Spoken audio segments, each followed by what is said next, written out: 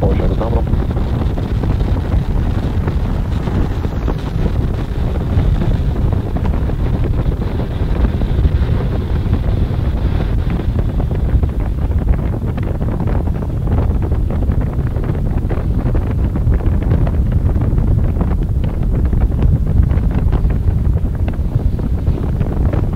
9 has successfully lifted off from Cape Canaveral Space Force Station carrying our carrying our stack of Starlink satellites to orbit. The next event coming up here shortly is Max Q.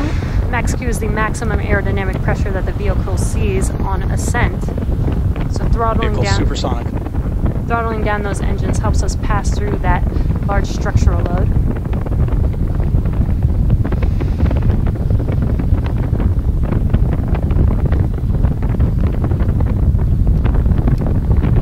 Vehicle has reached maximum aerodynamic pressure. And there's that call out that we passed through Max Q. In about a minute, we'll have three events happening within seconds of each other. The first will be MECO, or main engine cutoff, followed by stage separation, and SES1, or second engine start one. Now, MECO is where we shut down all nine of the engines on the first stage. MVAC engine chill has started. Just to call out that the MVAC chill has begun on that second stage engine. So for MECO, we shut down all nine of the engines, and that slows the vehicle down in preparation for that second event, which is stage separation.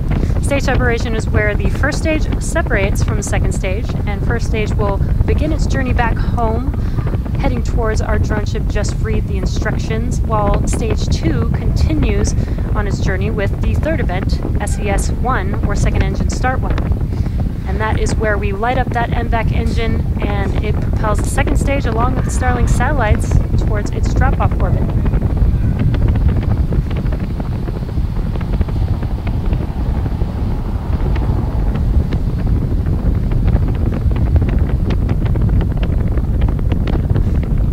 And MECO.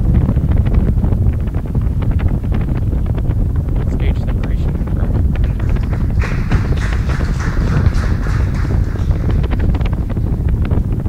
MVAC ignition.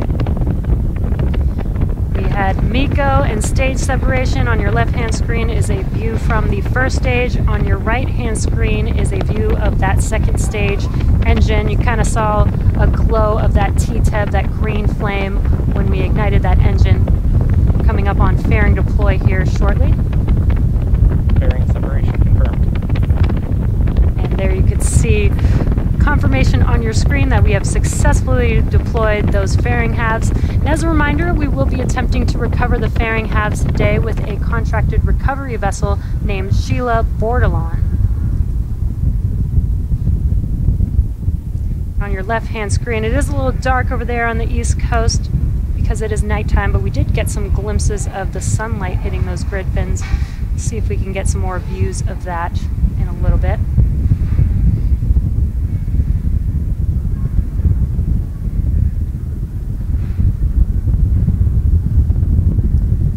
As stage two as uh, stage two takes our Starlink satellites to their targeted drop off orbit, stage one will make its way back to Earth by executing two burns. The first is the entry burn, and that's where we light up three of the nine M1D engines. And this will help to slow the stage down as it re enters back into the upper parts of the Earth's atmosphere. The second of those two burns for that first stage is called the landing burn. And this is where a single engine, the center engine, uh, will reignite and bring the vehicle speed down rapidly in order to touch down on that drone ship. As a reminder, we are attempting to land on Just Read the Instructions tonight. And those M1D engines do have a thrust of 190,000 pounds, so that lighting up that one single engine slows the entire vehicle down just enough to touch down on that drone ship.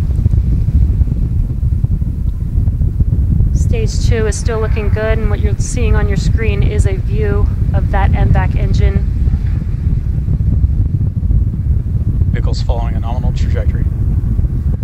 Now, if you're just catching up with us, we had a successful launch of Falcon 9 from Cape Canaveral Space Launch Complex 40, and you're looking at a live view of the Falcon 9 second stage as it is making its way to deliver our Starlink payload to orbit. Stage 1 is currently cruising back to Earth towards our drone ship. Just read the instructions out in the Atlantic Ocean.